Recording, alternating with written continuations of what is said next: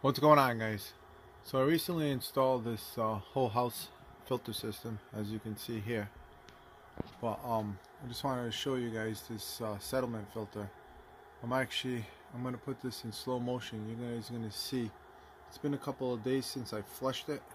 I have a little knob here and uh, I usually flush it every once in a while. But um, let me focus that.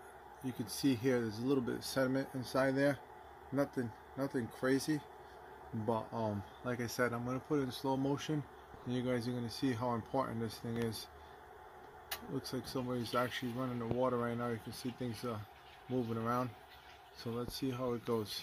I'm gonna put it in slow motion right now and uh, hopefully uh, it picks up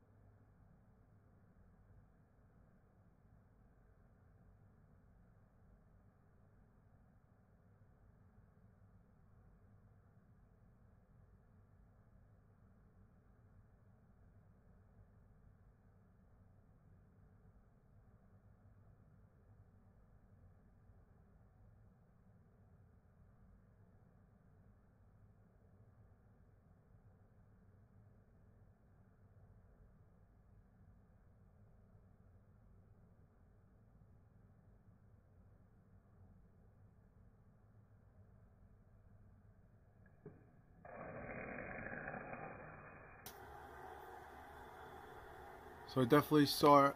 I saw it go down. Like I said, I'm gonna edit it back, put it in slow motion, and uh, let me know what you guys think.